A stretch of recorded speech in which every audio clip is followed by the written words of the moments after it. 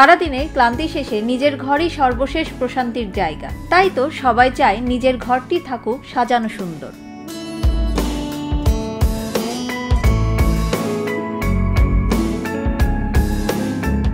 আর ঘর সাজাতে ফার্নিচারের ভূমিকা অনন্য।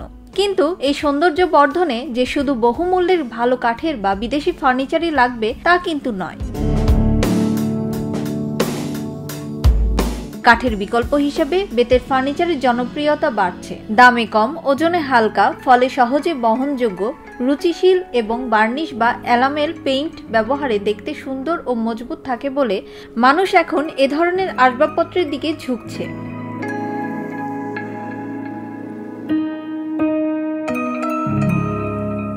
এসব আসবাবের মধ্যে সোফা, টুল, ডাইনিং টেবিল, বাস্কেট, ফুলদানি ল্যাম্প শ্যাডো শোপিস, দোলনা অন্যতম। আমাদের আজকের ভিডিও সৌন্দর্য বর্ধক এই সকল বেতের ফার্নিচার ও তার দরদাম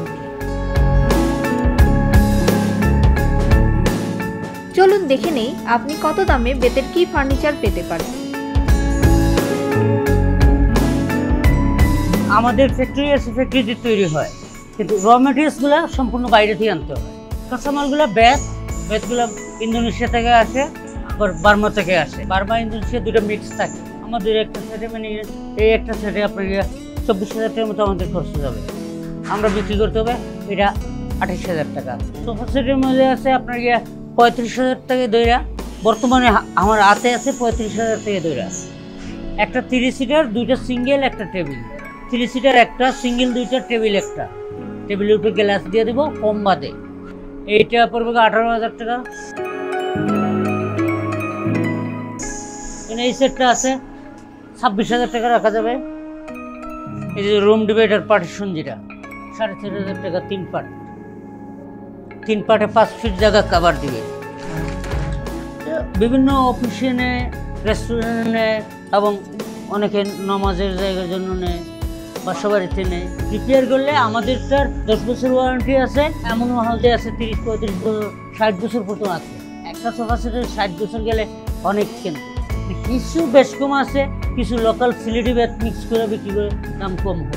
সিলেটি বেতের উপরে কোনো গ্যারান্টি দেওয়া যাবে না। যেমন আমরা দশ বছর ওয়ারেন্টি একটা সোফা সেটে দিই। সিলেটি বেত হলে দশ বছর দিতে পারব না। জাস্ট রোদ্রে শুকানো। আর বার্মা ইন্দোনেশিয়া এই বেতগুলো সার্ভার মেশিনে দিয়া মেডিসিন দিয়ে ওটা বয়েল করে।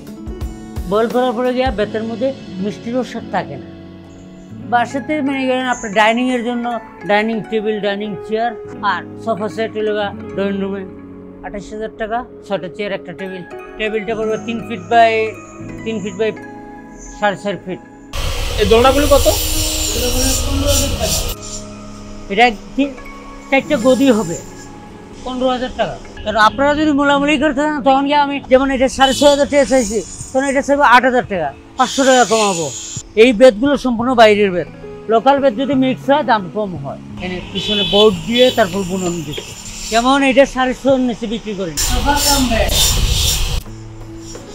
এটা মাপ হলো গা পনে আট ফিট বাই পনে তিন ফিট বাই এক ফিট।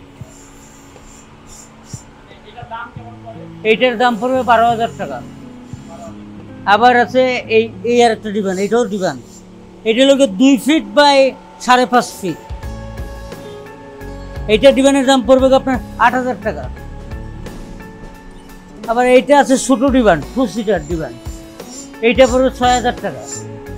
সবচেয়ে কমের মধ্যে কি আপনার পনেরো হাজার টাকা আছে, সাড়ে পনেরো হাজার আছে, ষোলো হাজার আছে। কম দামের মধ্যে ফোর সিট সাইড সিটের একটা টু সিটার দুটো সিঙ্গেল একটা টেবিল মানে এক পিস লাগবে মানে এক পিসের দাম পাঁচ হাজার টাকা। এরকম পাঁচ হাজার, সাড়ে পাঁচ হাজার, সাড়ে চার হাজার। যেমন এইটা আছে অফিসিয়াল শেয়ার পাঁচ হাজার টাকা পিস এইটা। পাঁচ হাজার টাকা। হ্যাঁ। এইটা পড়বে পঁচিশশো টাকা। এটা পড়বে সাড়ে তিন হাজার টাকা। এই যে আছে। হ্যাঁ বেবি দুলনা। পাঁচ হাজার টাকা। এই দুলনাটা পড়বে গা সাড়ে পাঁচ হাজার টাকা। আবার এই দুলনাগুলো আছে এগুলো পড়বে আপনার ছত্রিশশো টাকা। এরকম পাঁচ হাজার সাড়ে পাঁচ হাজার সাড়ে চার হাজার।